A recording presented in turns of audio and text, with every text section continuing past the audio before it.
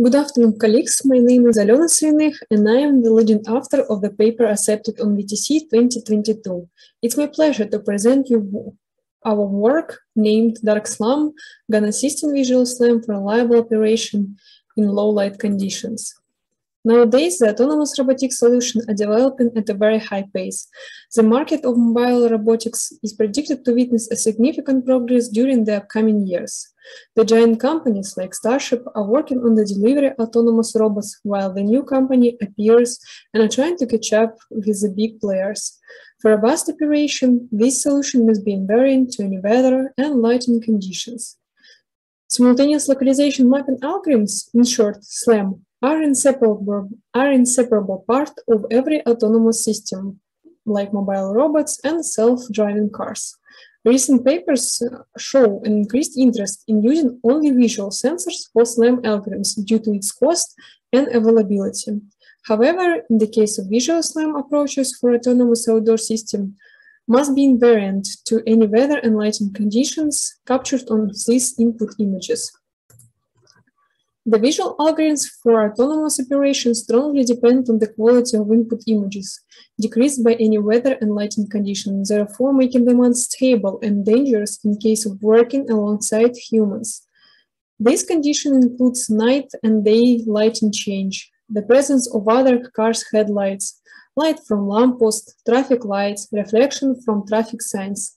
Weather and lighting change drastically decrease the visual algorithm's performance, leading to accidents, even giant companies developing autonomous vehicle can't handle driving in diverse conditions. For instance, an Uber self-driving car hit a woman when she was walking her bicycle across the road in dark night condition, depicted on the slide. Another accident happened to Tesla autopilot system. The vehicle sensor system was not able to distinguish a large white track crossing the road in the condition of the bright sun. Both accidents involve casualties and unfortunately they are not isolated incidents. To handle the diverse condition, particularly extremely dark conditions, this paper proposes the use of generative adversarial network, in short, GANs, as preprocessing module for input images fed to localization and mapping algorithms. The peculiarity of this type of network is in combination of two neural networks, one of which is a generative model and the other is a discriminative model. Generative and discriminative networks compete. The generator creates the images most similar to the input, and the discriminator classifies whether the image is real or generated. Thus, the GAN usage will allow to generate images with normal light from an optimal samples demonstrated on the left side of the picture. Uh, and transferring these enhanced images to the SLAM algorithm mitigates the accuracy decrease appeared in low light conditions. In general, the proposed algorithm is a combination of two methods from different areas, SLAM and neural-based image enhancement. This research proposes to embed the preprocessing model based on generative adversarial network into the SLAM pipeline.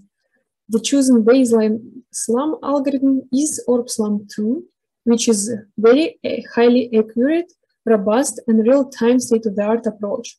The enhancement algorithm is Enlightened GAN, state-of-the-art network, able to adjust image dynamic range efficiently. The overall proposed algorithm, DarkSLAM, can be described as follows. The raw images from the camera are transferred to the preprocessing module of the proposed algorithm, particularly to the generator network of the Enlightened GAN approach. It outputs the images with significantly improved lighting. Then the enhanced images are fed into the ORB feature detection algorithm to calculate features on the improved images. And finally, the detected features are processed by ORB-SLAM2 localization pipeline, which estimates the camera position and its trajectory, and moreover, a sparse point cloud of the area surrounding the camera. The proposed DarkSLAM pipeline is presented on the slide. Enlightened GAN is a generative adversarial network proposed to enhance low-light images with heterogeneous illumination levels. It uses UNet architecture as a generator network. The UNet-based generator is implemented with eight convolutional layers. Each block is 3 by 3 and each block is followed by Leaky-ReLU and batch normalization layers. adding the attention map, which is inverse of the grayscale image, to the input and element wisely multiplying and adding it to the generator's output helps to define the regions of low and high light levels, enhancing them as self-regularization. The structure of the local discriminator network is inspired by patch-GAN. It utilizes the decomposition of real and fake images as patches and allow avoiding severe color distortion and uneven illumination. The global discriminator is defined as a relativistic discriminator structure that allows to distinguish more realistic images between real and generated, and guides the generator network to create the realistic images. The discriminator stand, standard loss function is reformulated as the least square loss proposed in the LS-GAN.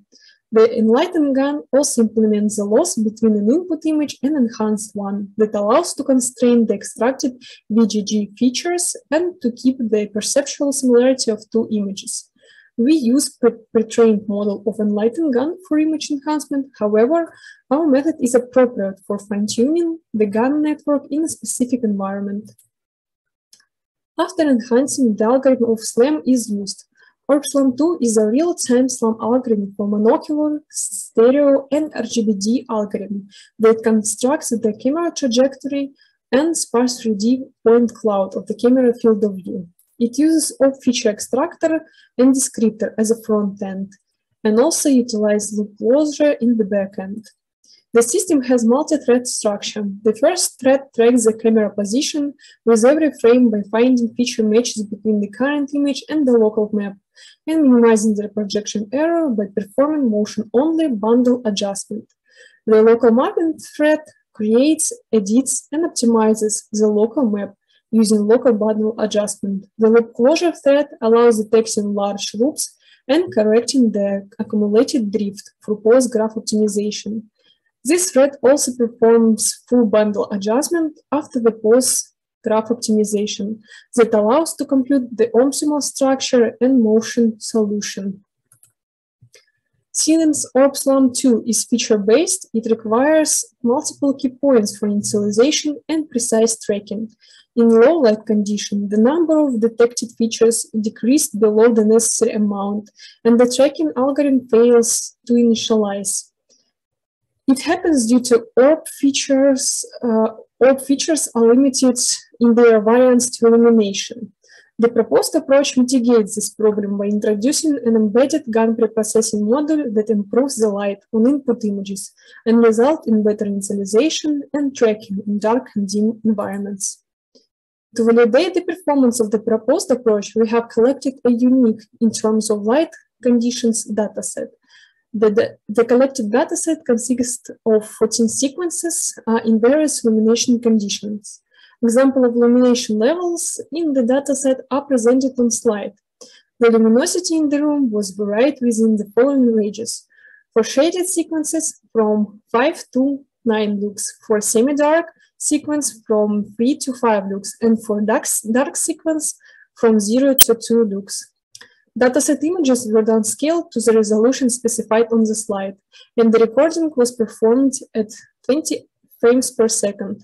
Exposure and light balance were fixed and the gain parameter was set to zero to ensure consistent experimental results. Before data collection, the camera calibrated, uh, the camera was calibrated and parameters were known. All sequences were recorded with the same camera parameters in a room with controlled illumination, ensuring that the collected images represent various levels of illumination. The camera moved along a rectangular trajectory manually, manually. The length of each sequence was approximately the same and constitutes 15 meters. The, the, first experiment is devoted to validating whether the light change and the usage of preprocessing affects orb feature robustness. The experiment was carried out on the collected dataset sequences.